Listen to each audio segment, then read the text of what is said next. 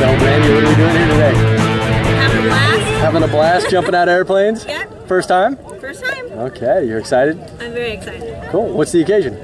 Nothing. Just because. Afraid of flight, gotta do it. All right, who do you have here with you today? My best friend, Knucklehead. She's not a ham or anything. Uh, well, hey, any last words before we get out of here? Nope. Looking forward to it. It's gonna be a blast. All right, I'll see you in the sky. All right.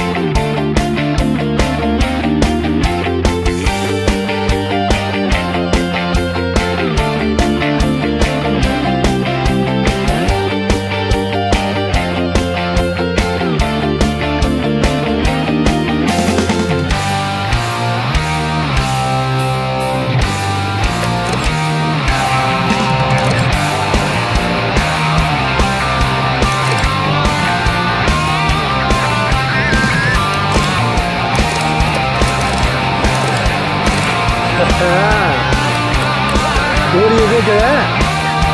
Here, let me help you up. Really good job.